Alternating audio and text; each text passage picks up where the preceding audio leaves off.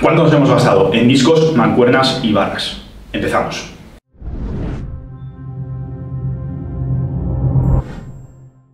En el vídeo anterior, que te lo dejamos por aquí, te contamos cuánto nos hemos gastado en estructuras y en máquinas. Y en este vídeo vamos a comentarte todo lo que nos hemos gastado en los discos, en las mancuernas y las barras. Atiende porque tanto discos como mancuernas como barra se los puede comprar cualquiera. O sea, igual una máquina pues no te puedes meter en tu casa, pero una barrita ahí en la habitación, tal. Sí, eso es. O sea, este sería el material más versátil uniéndolo a la jaula que hemos comentado en el vídeo anterior.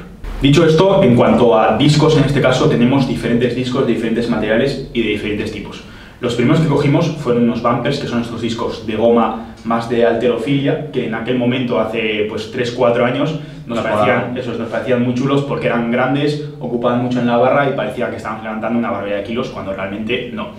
¿Qué pasó con estos discos? Que los compramos, los pagamos y llegaron aproximadamente al de 9-10 meses de, Casi un de comprarlos. De hecho, fuimos a poner una denuncia y todo, y al final nos acabaron por llegar. El caso, estos discos, que son en total 150 kilos, nos costaron 460 euros. Es un precio bastante barato si lo comparamos con discos bumpers, sobre todo eh, con precios actuales del mercado. Te vas a dar cuenta si haces una búsqueda rápida, pero mm, sí que es cierto que cogimos esto en una marca mm, muy poco conocida y que tampoco recomendamos porque la logística era nefasta, pero sí que es cierto que el precio fue realmente barato y la calidad es muy buena. O sea, fue una marca en el internet profundo, En la una compra del internet profundo, que por eso no lo recomendamos porque, pues eso, tardamos 10 meses en recibir los discos. Entonces, en aquel momento éramos más pequeños y tampoco nos importaba demasiado, pero ahora mismo ni de coña lo repetiríamos. Ahora ya metalazo. Eso es metalazo. Los discos que actualmente más nos gustan y de los que más uso estamos haciendo son por una parte los discos de fundición, que simplemente son discos de metal como con una apariencia más de hierro, y por otra parte los discos más finos que tenemos, que esos, ¿cómo los llamamos? Los de metal también, Sí. los convencionales. Tenemos discos convencionales y discos de fundición. Vale, claro, en realidad los dos son como apariencia de metal. Sí, pero los de fundición son muchísimo más finitos y los convencionales son más tipo de gimnasio. Ahí está. La diferencia está que los discos de fundición son discos que no podrían estar en un gimnasio, porque son discos muy finitos, con el canto bastante, bastante afilado, podríamos decir, Sí. que eso como se te caiga en el pie y no está, o sea, no es un disco para andar moviendo por, por el gimnasio y para andar usando sin tener demasiado cuidado. Además, que los ha hecho un herrero. Eso es. Partiendo de esa base, nos los trajo, los pintamos de negro y para adentro. Exacto, entonces tenemos los discos de fundición que nos los ha hecho un herrero a medida, podríamos decir, del peso que nosotros queríamos y con la anchura que nosotros queríamos. que en total son 450 kilos. Mm, Los hemos ido metiendo poco a poco. Primero cogimos como 6 de 20, después eh, otros... Después 4 de 20 y 2 de dos- 25. Ahí está. Y nos gastamos en total 550 euros. Tened en cuenta también que mm, el precio de estos discos está al precio en el cual estaba el hierro en el momento en que hicimos la compra. Exacto. Si ahora el hierro ha subido, pues obviamente si te quieres coger exactamente los mismos discos vas a tener que pagar más. Eso es, o sea, son discos que hemos pagado el precio por kilo. Eso es. Y algo a tener en cuenta también es que queríamos estos discos en específico porque son muy finitos.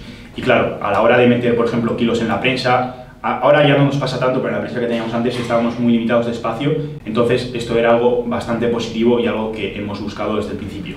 Y algo también a destacar es que los discos que tenemos, ninguno está calibrado.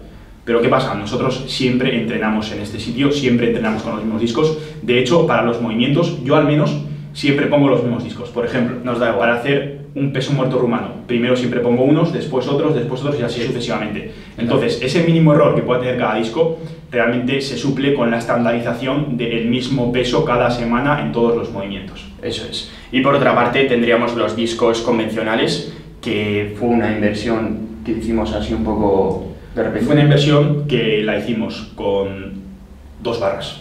Vale, con dos barras y nos dejamos en estos... eh, ¿Cuántos kilos son? Son 40. Son 40 kilos, son dos de 20. Eso es.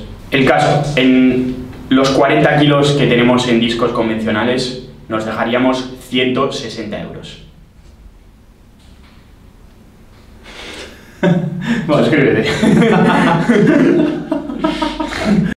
Y aquí ya vendrían los últimos discos, que son unos discos que teníamos de antes, que son discos de body pump, Body que a día de hoy los tenemos pintados de negro, que ascienden a 30 kilos y un total de 79 euros. Estos discos no os penséis que los utilizamos ahí con barras de body pump y tal, que podría ser.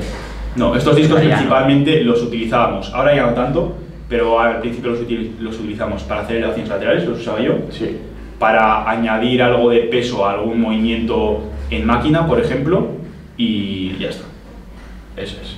En cuanto a las mancuernas, la- el primer par que tuvimos, un par de 10 kilos, hacían un total de 70 euros. Son unas mancuernas completamente convencionales, normales, duraderas, férreas, que están también desde el principio y a día de hoy le seguimos dando mucha caña. Exacto. Después tenemos las mancuernas de 15 kilos, que estas nos costaron 97 euros, y igual que las de 10, son de las primeras piezas que tuvimos y que también a día de hoy le seguimos dando mucha caña.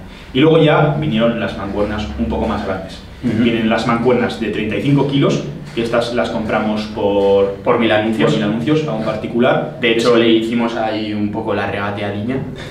bueno, hiciste tú. Sí, porque tenía un precio como de... Puede ser 130, ¿no? 130 es ahora. Pues es lo que hemos pagado. Claro, tenía un precio de 130 y bueno, simplemente el hombre pagó el envío. O sea, nosotros pagamos 130 por las mancuernas con el envío. Eso es. Y estas mancuernas son las que hemos utilizado hasta hace prácticamente pues, un par de meses, que adquirimos las siguientes mancuernas, que se las cogimos al mismo herrero que nos hace los discos, y son mancuernas ajustables. Son mancuernas que tienen una barra bastante férrea y discos muy parecidos a los grandes de fundición, pero más pequeñitos de tamaño mancuerna.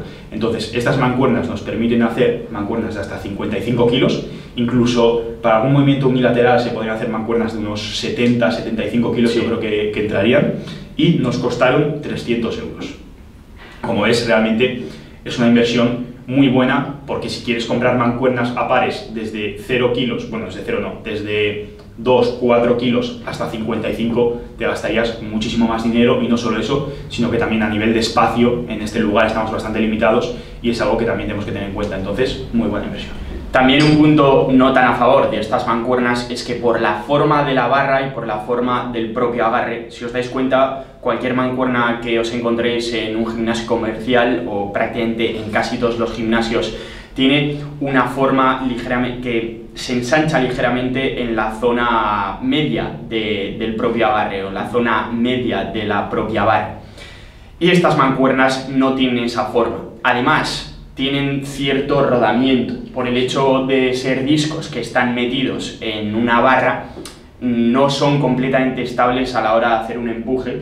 Y eso, por ejemplo, en mi caso, que cuando llegaron estaba haciendo press inclinado con mancuernas, se me hacía realmente complicado progresar con estas mancuernas por el hecho de tener esos rodamientos. Eso, es, son mancuernas que son muy versátiles, que son bastante buena inversión, pero sí que es cierto que limitan bastante la capacidad de, de cargar que tenemos en un movimiento como podría ser un empuje con mancuernas. Aún así, ten en cuenta que si te adaptas a esa inestabilidad y si te adaptas a esos ro- eh, rozamientos. Si te adaptas a esos rodamientos, no vas a tener absolutamente ningún problema. Dicho esto, vamos con las barras. Tendríamos la primera barra que compramos junto con la jaula, que esta la compramos de Decathlon y nos costó 90 euros. A día de hoy es una barra que, bueno, a día de hoy, en su día, haciendo una sentadilla, estando yo aquí solo, pues fallé la sentadilla, la dejé caer y a día de hoy pues la barra está doblada. Entonces la tenemos aquí guardada, pero no la utilizamos porque Para es una barra recta doblada, que tampoco tiene mucho uso. También te digo, queda bien ahí en la pared. Sí, está guapa. Está guapo. Después, la barra recta que actualmente más utilizamos y además es negra, está aún más guapa. Está mucho más guapa. Nos costó 150 euros, esta la compramos en Maniac y a día de hoy es la barra a la que más uso le damos. La Sí. utilizamos tanto para empujes como pa- para tracciones, mm, cualquier ejercicio con barra recta es esta barra la que está en todo momento. Eso es. Seguramente uno de los siguientes pasos para mejorar la cueva sea adquirir una barra un poco mejor, porque aunque sí que es cierto que esta es una barra buena, pues no es como, por ejemplo, una Texas Bar, una Deadlift Bar o una barra que podría ayudarnos a mejorar aún más y hacer los movimientos más cómodos. De Pero hecho, sería la Texas Bar. sería la Texas Bar para peso como- muerto. Porque para los empujes realmente con esta estamos bastante cómodos. Sí. Después tendríamos las barras especiales. Tenemos tres tipos de barras especiales. En primer lugar tenemos la Safety Squat Bar, que es una barra pues, para poder hacer sentadilla, que a día de hoy no la utilizamos ninguno de los dos. No, pero la hemos utilizado Eso, mucho. la hemos utilizado muchísimo. Y seguro que volvemos a utilizarla. Exacto, y en esta barra nos gastamos 175 euros. Después tenemos la barra Swiss, la barra multigrip, que esta también la cogimos hace un año aproximadamente, y esta sí que es una barra que desde que la cogimos no la hemos dejado de utilizar, porque es una barra realmente que nos encanta para hacer empujes en press plano, para hacer empujes ligeramente inclinados, incluso overhead que has estado haciendo tú alguna vez. Es una barra que nos gusta muchísimo y en esta nos gastamos Bastante poco. bastante poco, exactamente 85 euros. Que por cierto la cogemos en la web de Trending Fit.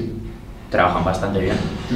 Y está de locos. Sí, está de locos. Lo único malo es que es una barra que pesa 10 kilos. Sí, pesa 10 kilos, pero en realidad a nosotros, incluso a mí ahora mismo, si me dieran a elegir entre esta barra de 10 kilos y la misma barra de 20 kilos, mantendría la de 10 Sí. simplemente por el hecho de que para moverla es más sencillo.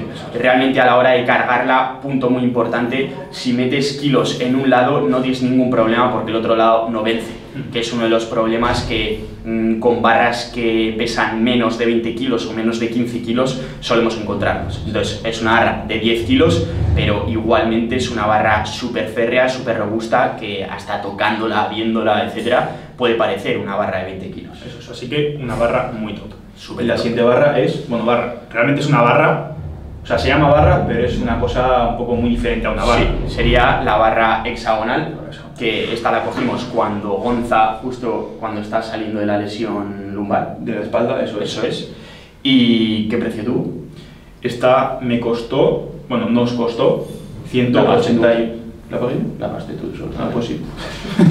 pues me costó 181 euros. Y esta la compré simplemente porque estaba volviendo la lesión de espalda. Veía que iba a estar a lo mejor uno o dos meses teniendo que adaptar mi entrenamiento y dije, vale, tengo esta inversión de 181 euros, que es muy probable que en el futuro no la use demasiado, pero es algo que me compensa tener e incluso para atletas que tenemos aquí en la COA de forma presencial, Mm. pues también puede tener mucho uso. Entonces dije, hago la inversión y ya la tenemos. Ahora mismo no la utilizamos ninguno de los dos, pero es una barra muy buena, es una barra muy útil y que sin duda, para, sobre todo para poder hacer el patrón de peso muerto para personas que están empezando a adquirir este patrón y que están aprendiendo, es muy pero que muy útil. Por lo tanto, sumando todo lo que nos hemos gastado tanto en discos como en mancuernas como en barras, tenemos un total de 2.528 euros. Que equivaldría a una moto Suzuki, bastante Una- guapa, Una buena moto. una buena moto. Es decir, puedes elegir entre una moto y tener todos los discos, mancuernas y barras que nosotros tenemos. ¿Qué elegirías? Deja en los comentarios. Eso es. Pero claro, en la cueva no solo hay máquinas, estructuras, discos y barras, también tenemos un montón de accesorios. Entonces, si quieres saber cuántos hemos gastado en accesorios, dejamos este vídeo por aquí. Déjate un like, suscríbete y nos vemos en el siguiente vídeo.